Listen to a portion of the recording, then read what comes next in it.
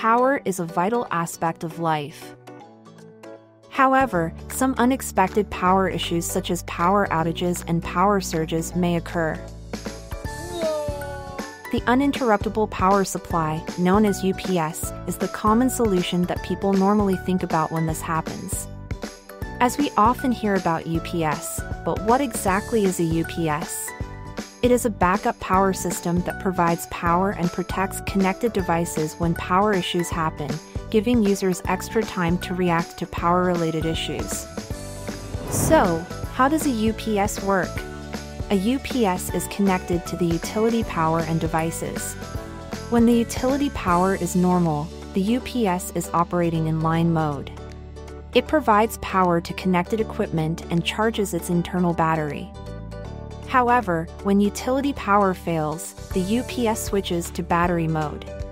It provides power for its connected devices through its battery and protects them against all the power issues. Besides power outage, other power issues may affect the normal functionality of our devices. UPS systems have different topologies to safeguard the devices against a different combination of power events. The first topology is standby, also called offline. The standby UPS allows equipment to run off utility power and provide battery charging until it detects a problem such as power failures, sags and surges. When this occurs, the UPS switches to the battery mode to provide power for its connected devices. The standby design is cost effective and suitable for home and small office applications. The second topology is line interactive, it protects connected devices from power failures, sags and surges like a standby does but it also provides automatic voltage regulation AVR against under and over voltage conditions without switching to battery power. Typically used to protect enterprise network and IT applications. The third and the last is called online or double conversion. Because the UPS converts incoming AC power to DC and then back to AC while charging its internal battery, providing the ideal output power.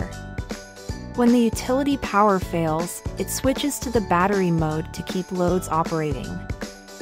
The bus supplies buffer energy to prevent total energy drop during switch operation, which results in zero transfer time. When the quality of utility power is good, the UPS switches to bypass to increase system efficiency. Commonly used to protect critical applications, such as data center equipment, communication hubs, and other industrial applications.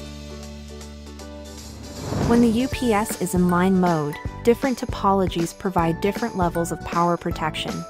Standby topology offers the basic one, while line interactive stabilizes under and over voltage conditions, prolonging battery lifespan. Online UPS topology is the most complete solution, which provides consistent and clean output power, regardless of any incoming instabilities. From basic to advanced power protection, CyberPower offers a comprehensive power solution for all your needs.